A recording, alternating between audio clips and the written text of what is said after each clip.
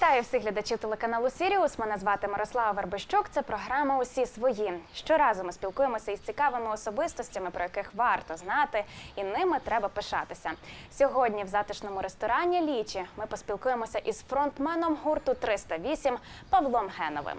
Вараж банда, гуцул пропаганда. 308 – закарпатський фолк-панк гурт, заснований в Ужгороді в 2010 році. Нині до складу гурту входять вокаліст Павло Генов, барабанщик Ігор Магада, бас-гітарист Андрій Шаповалов, трубач Володимир Щобак, акордеоніст Станіслав Микульця та гітарист Сергій Єлагін. Музика гурту заснована на карпато-балканських мотивах та суміші низки сучасних стилів музики, серед яких фолк-рок, панк, фанк, ска та рок-н-рол. На рахунку колективу вже є міні-альбом Перча та повноцінна платівка Лачо. Зараз 308 готує до виходу другий повноформатний альбом Мусай.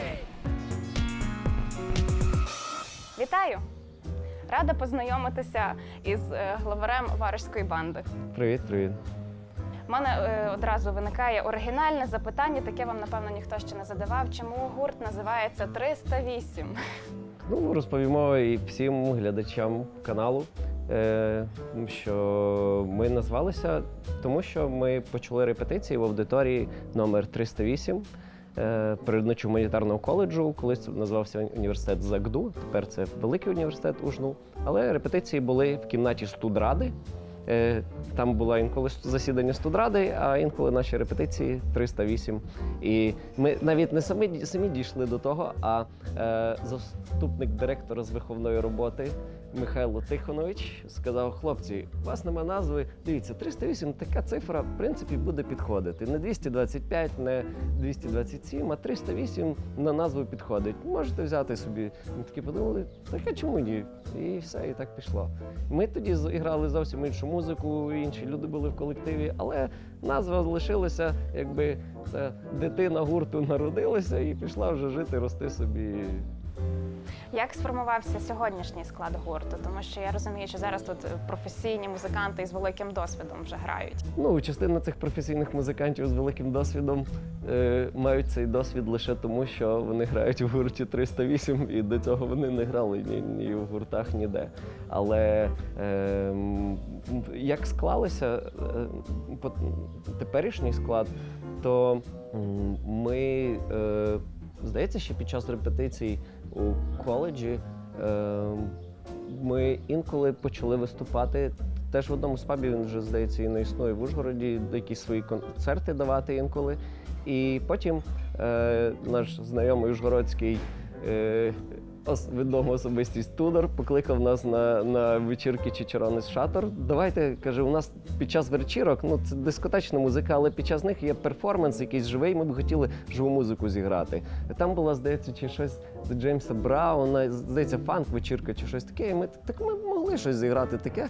Давай зіграємо. І нам потрібно було, наприклад, тоді дуже е, труба, щоб е, лунала. У нас не було ну, лише гітари, там барабани. І я згадав, що у мене є один знайомий, з яким ми колись були в дитячому е, таборі для творчо обдаровної молоді в Чинадієві Вова. І я думаю, треба його знайти. Я знайшов Вову, він грає, так і грав далі на трубі. І давай прийдеш на репетиції, пограємо і на вечірці. О, да, супер. Ми зіграли. Після вечірки він каже: Паша, знаєш, взагалі треба щось робити разом, щось, якусь ідею мати класну і, і, і робити. І ми отак з ним продовжили просто далі приходити на репетиції, грати те, що в нас, в нас виходило. І е, Стас, акорде- акордеоніст.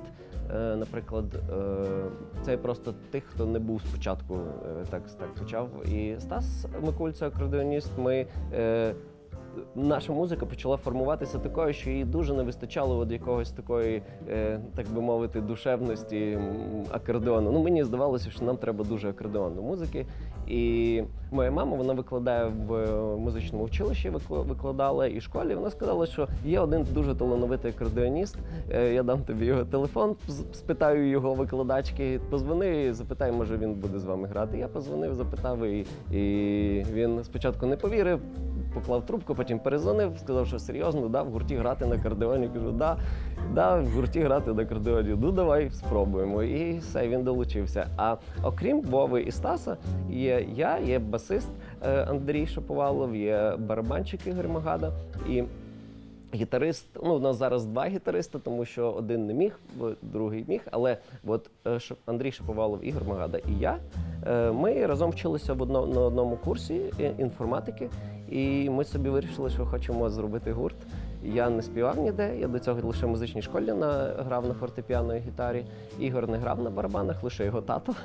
І, і Андрій Шаповалов, е, він трошки мав музичного бекграунду. Він на домрі в музичній школі грав, але на бас-гітарі ніколи. Але ми добре товаришували, і мені здається, коли це досить е, природньо, коли дружба перетікає у, у якісь от такі ем, спільну, спільну справу. Ось то- тобто, це три однокурсника. Вова і Стаса ми знайшли на щастя. Можливо, без них би ми і не існували, тому що дуже класно все е, почало складатися. І пізніше до нас долучився гітарист Сергій Лагін, і також з нами грає гітарист е, Арсен. е, Який в багатьох колективах в Ужгороді грає і часто нам допомагає. Ви одразу почали грати свої пісні, чи ви спочатку переспівували відомі якісь шлягери? Нам мені чогось спочатку хотілося одразу свої пісні писати, якісь.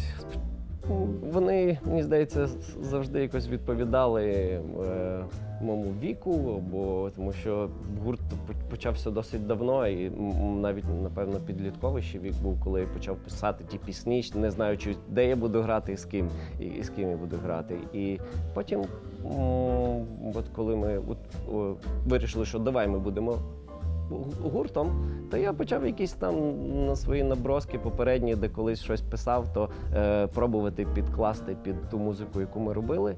І, і так формувалися пісні наші. І, але можу сказати, що декілька ну, у списку тих пісень інколи ми, нам хотілося щось заграти з того, що ми чули, або що нам подобалося. І, але на людях ми ніколи не грали чужі пісні. Це завжди було авторське, тому що ми вважали, що це, це, це важливо. Ось. Наскільки я знаю, цього року ваш гурт буде святкувати вже 8 років. Напевно, що так. Напевно, що так. Так, ми, ми відштовхнули, ну, вирішили якось визначати, скільки, е, який вік гурту.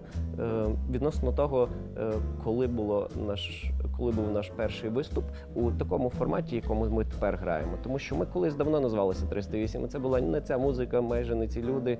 І казати, що 308 це від того, коли я народився, це там неправильно. Так. Е, Таку відправну точку взяли виступ у Львові в е, етноклубі набутків е, на базі Дзиги. І там був наш перший концерт, досить такий він був панк характеру мав, тому що ми, ну, ми не дуже. Е, Зважали на те, як ми граємо, як чисто, як там. Ми, нам, у нас була е, така експресія молода, нам хотілося показати, от ми є, от наша музика. І, і таким був наш перший виступ, і відтоді пішли якісь там контакти, роз'їзди.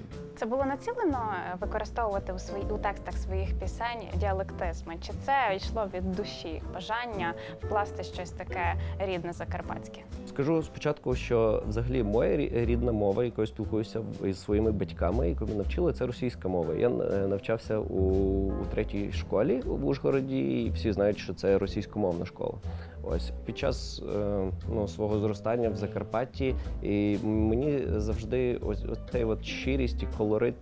Е, Мови, яку я чув від інших підлітків, буваючи там в дитячих таборах чи, чи навчаючись у коледжі, мені завжди завжди подобалося.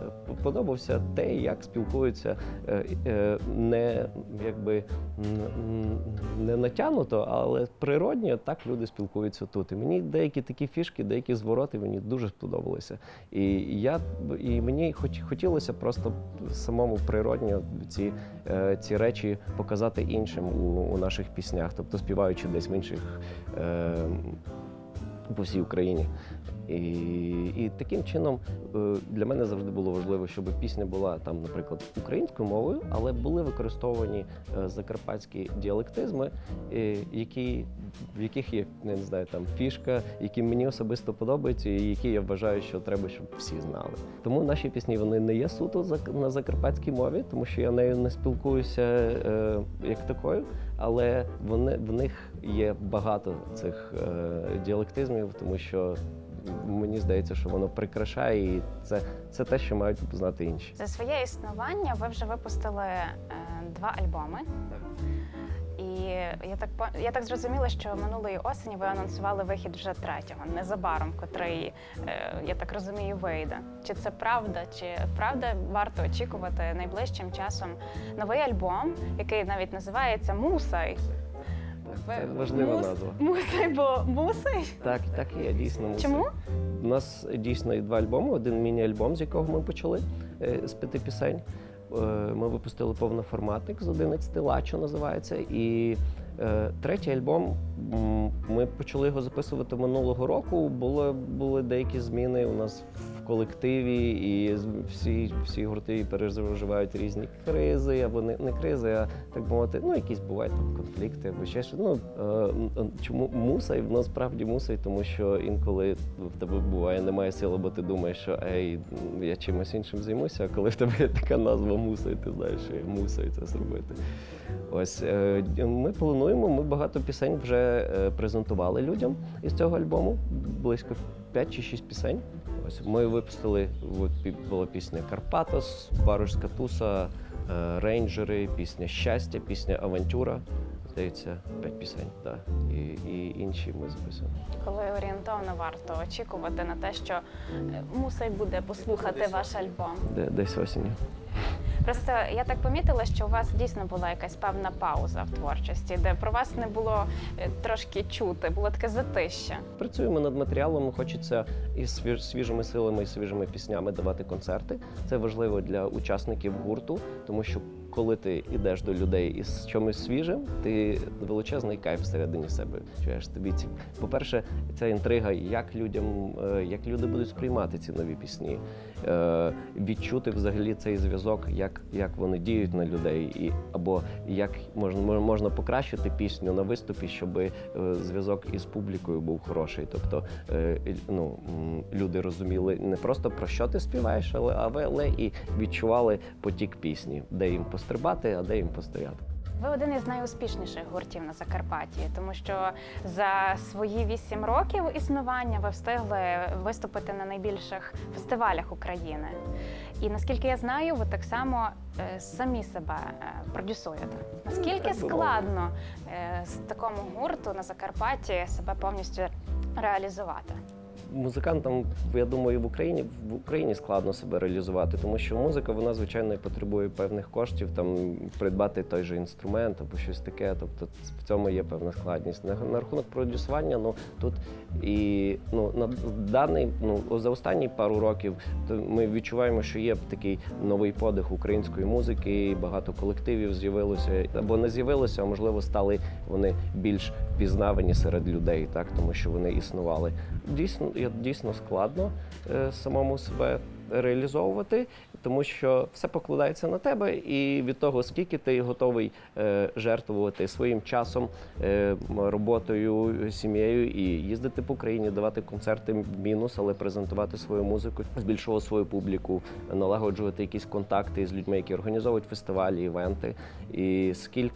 Ти готовий на це е, тратити часу, стільки ти і маєш на, на навзаєм. Ми свого часу у нас були дуже такі роз'їзди, е, там довгі, там по 14 годин, коли ще дороги такі вбиті були на старенькому бусі в Чернівці, потім Тернопіль, потім Хмельницький, потім до Львова. Ми там серед зими взагалі в Київ на бусі планували їхати. І, але ну, ми, ми так фанатично до цього відносилися. І, і ці всі роз'їзди вони давали свої плоди. І якщо би хтось хтось думав, як свою музику до інших донести, то просто брати інструменти в руки, дзвонити в якийсь паб в місті, яке ти хочеш приїхати, казати, ми приїдемо.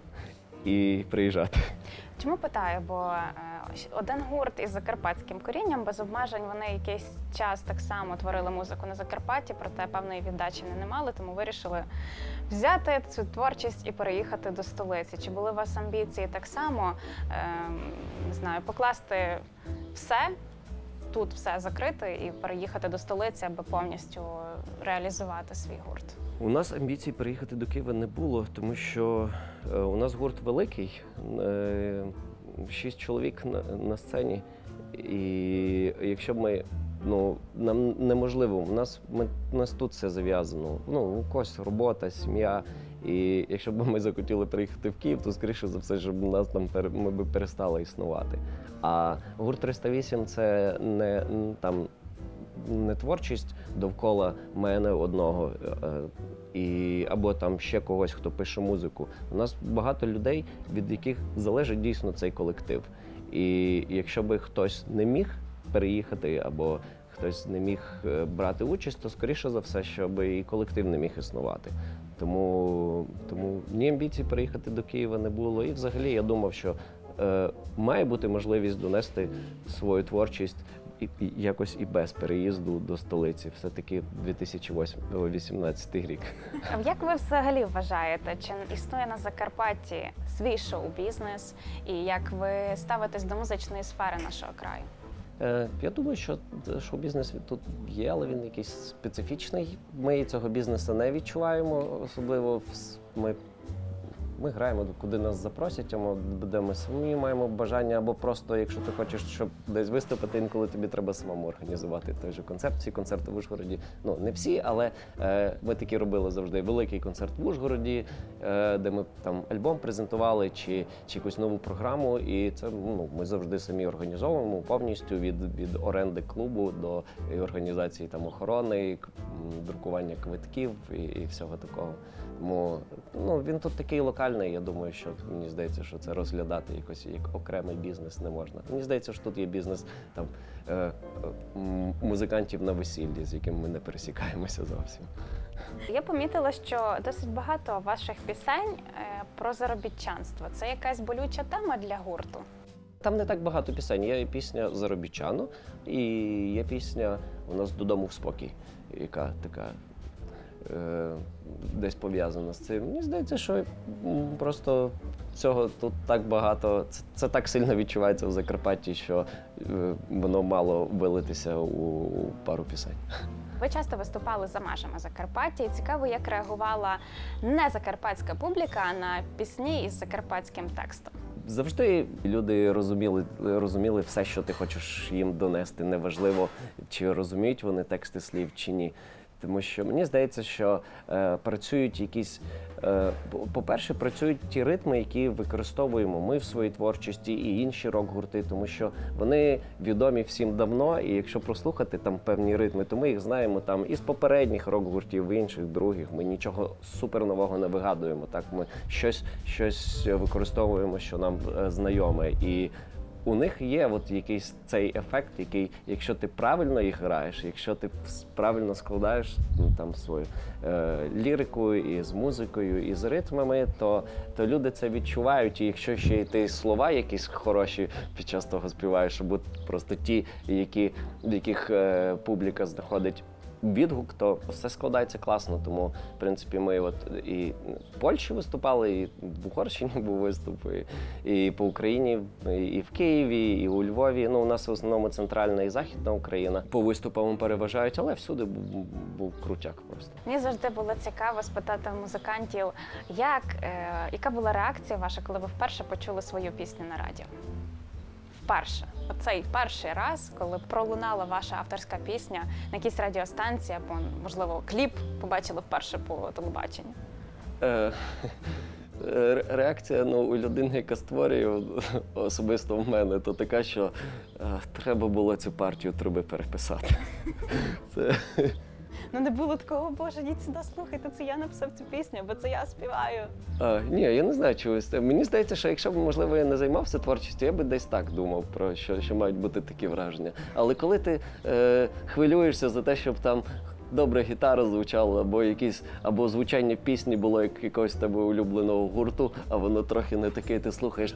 Ех, треба було трошки натиснути там на того, хто зводив, або щось, щоб все-таки вони зробили кращий звук. Ну, в мене критичне відношення завжди з першого разу. Я думаю, так. Павло, я дуже дякую вам за цю розмову. Я з нетерпінням чекаю, думаю, як наші глядачі на ваш новий альбом. І зустрінемося з вами ще не один раз, сподіваюся. Так, так, обов'язково. Дуже дякую вам за зустріч. На сьогодні це все. Дякую, що були з нами. До наступних зустрічей і хай вам щастить.